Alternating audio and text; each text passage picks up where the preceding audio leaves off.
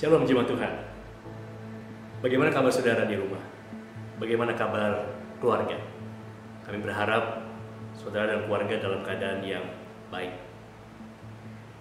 Pada pagi ini, hari Sabtu tanggal 25 April 2020, saya akan membagikan refleksi berupa chat dari Allah. Firman Tuhan terambil dari Injil Matius pasal 14 ayat 30 dan 31. Tetapi ketika dirasanya tiupan angin, takutlah Petrus dan mulai tenggelam, lalu berteriak, Tuhan, tolong aku. Segera Yesus mengulurkan tangannya, memegang dia, dan berkata, Hai orang yang kurang percaya, mengapa engkau bimbang? Chat dari Allah. Aku ada di atas segalanya.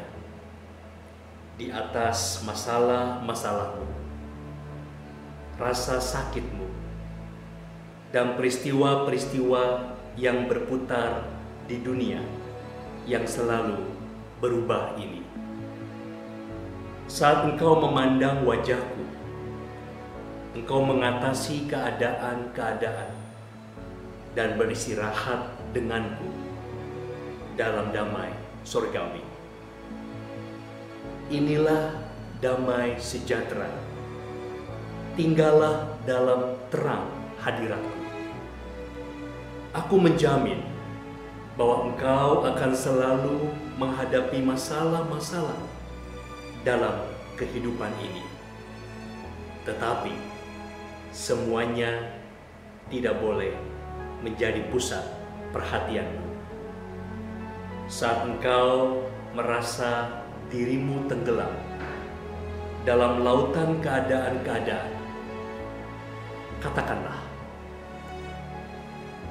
"Tolong aku, Yesus, dan aku akan menarikmu kembali kepadamu." Jika engkau harus mengatakan itu ribuan kali setiap hari, janganlah putus asa. Aku tahu kelemahanmu, dan aku menjumpaimu di tempat itu juga. Saudara kasih Tuhan, demikianlah chat dari Allah untuk Sabtu ini. Tuhan Yesus Kristus menyertai kita selalu. Amin.